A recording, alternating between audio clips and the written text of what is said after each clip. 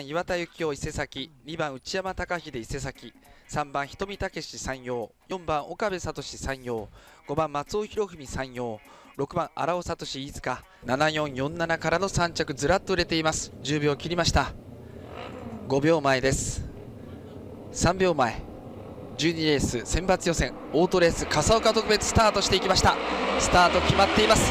さあセンターから3番の瞳が抜け出すのがインから1番の岩田が先制を奪って2番の内山3番の瞳が外4番の岡部がインコーススーッと上がってきました。その時7番の高橋光が7番手8番の中村が高橋をまくろうとしています。先頭4番の岡部が華麗なライディングで抜け出しています。レーサー2周目です。4番の岡部6番の荒尾が2番手3番手に上がってくる宇宙地当て高橋貢がしっかりとテクニック披露して3番手藤岡2周の3コーナー2番の内山の懐一気に2車かわしていった高橋貢が2番手に上がってきています。レーサー残り4周。4番の岡部高橋貢人気の2社が抜け出しました。早くも3番タレソに焦点は絞られたのか。2番の内山6番の荒尾が4番手。その後ろ5番松尾1番の岩田。3番の瞳が外。最高峰はなんと8番の中村雅人。4コーナー立ち上がってレースは残り半分です。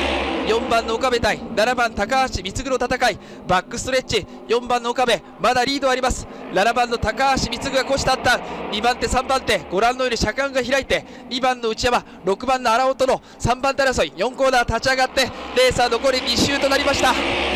4番の岡部リードがほとんどありません。安倍校舎岡部を。7番の高橋光がまくるのか。内か。4番の岡部対。7番の高橋光高橋光がまくった。4番の岡部2番手交代。3番手が2番の内山。その後ろが6番の荒尾聡であります。青旗回って最終周回。高橋光の猛攻でした。強豪勢相手にしても高橋光待ったらしい。3番手争い荒尾が上がってくるんでしょうか。絶対王者高橋光の走りは変わりませんでした。雨が降ってもご覧のように独走体制高橋光10連勝ゴール。2番手4番の岡部。7番4番220円。2連複4と7の組み合わせ。150円。3連単7番4番2番で7460円つきました。